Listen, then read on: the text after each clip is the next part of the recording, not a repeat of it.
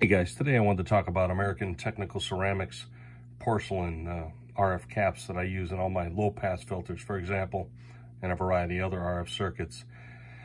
You know, years ago, I uh, was lucky enough to have uh, paid attention and uh, found that these definitely were the uh, the best caps to use whenever building uh, RF circuits.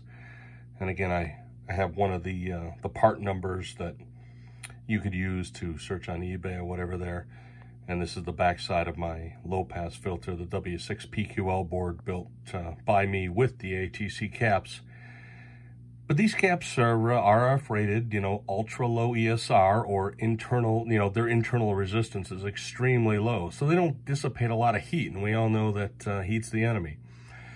Uh, you know, so uh, obviously they're uh, they're very expensive if you go to buy them from uh, you know like Mouser or DigiKey or something like that. I mean even up to uh, like five dollars each. But if you keep your eye on eBay, there's a guy in China that sells them, and I have bought a lot of them, and they're obviously uh, the same thing.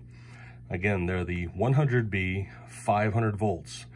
So you just want to make sure you go that route. But I've been using these on my low pass filters for years now, and I have never, ever had a failure. Uh, they are great capacitors, well worth the money. Obviously, they're more expensive than, you know, like a, a 1,000 volt cap or whatever, but they work great, and you won't be sorry.